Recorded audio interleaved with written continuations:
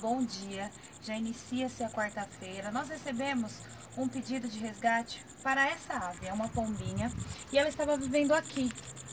O comentário que foi feito foi que há mais de 20 dias ela permaneceu nesse local, comprovado pela quantidade de fezes, pela água. Foi informado que esse animalzinho ficou aqui todo esse período e as pessoas acabaram colocando água para ela, pois ela não estava saindo desse local. Assim que nós chegamos, ela estava em cima dessa pedra. Nós vamos até postar a foto ao lado desse vídeo para que vocês possam ver. E é isso aí, pessoal. Independente do horário, a equipe de resgates da ONG Arca da Fé Resgate Animal está nas ruas para salvar esses seres, que muitas vezes passam despercebidos pelas pessoas.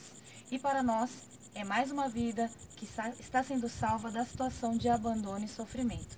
Colaborem com o nosso trabalho. Muito obrigada a todos.